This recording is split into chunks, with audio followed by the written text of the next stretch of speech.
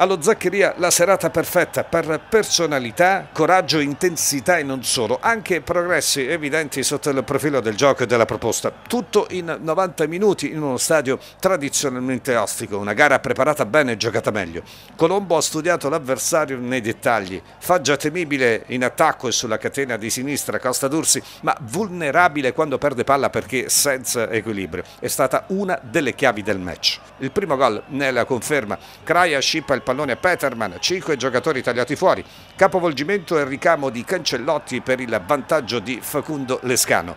Milani che si inserisce con i tempi giusti e firma il raddoppio su assist dell'attaccante italo-argentino.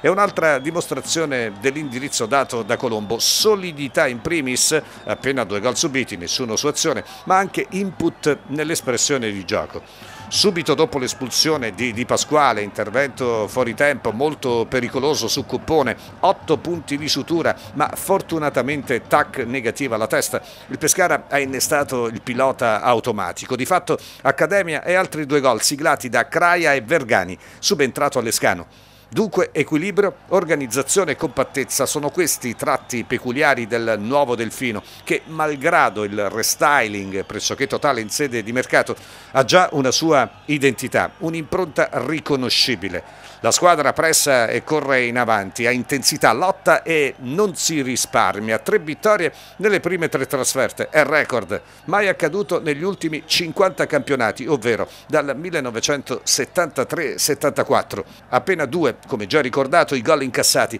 se solo si considera il trend degli ultimi dieci anni, è davvero tanta roba.